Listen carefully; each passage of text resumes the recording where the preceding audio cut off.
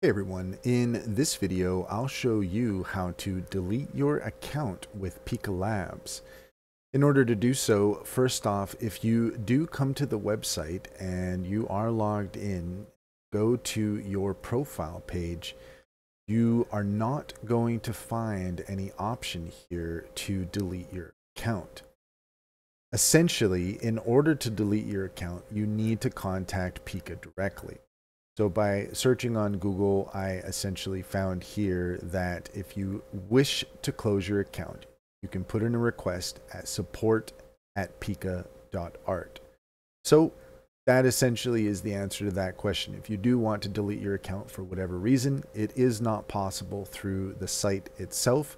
You do have to send a message to their support group at support at pika.art. That's all there is to it. If you found this video helpful, please like and subscribe for more helpful tips.